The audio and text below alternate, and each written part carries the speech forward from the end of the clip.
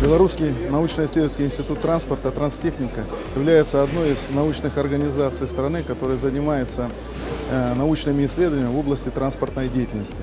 В рамках э, Белорусской транспортной недели мы э, сегодня писали четыре меморандума с нашими коллегами-транспортниками, которые предусматривают научно-техническое развитие в вопросах, опять-таки, логистики, транспортного комплекса, э, в вопросах науки и образования.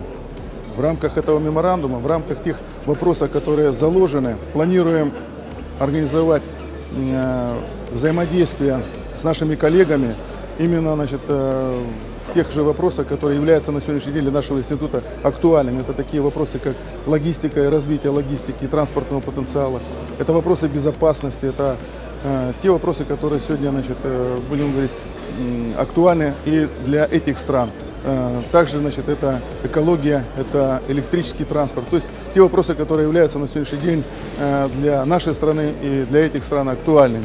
Спланированы также в рамках э, транспортной недели переговоры с международными экспертами, с которыми мы также планируем обсудить вопросы, именно те актуальные вопросы, которые касаются нас, транспортников, вот, обсудить вопросы дальнейшего взаимодействия и, может быть, э, будущих э, проектов, которые бы, э, будем говорить, способствовали развитию и укреплению нашего потенциала. С 1 по 3 октября 13-я международная специализированная выставка и конгресс «Транспорт и логистика».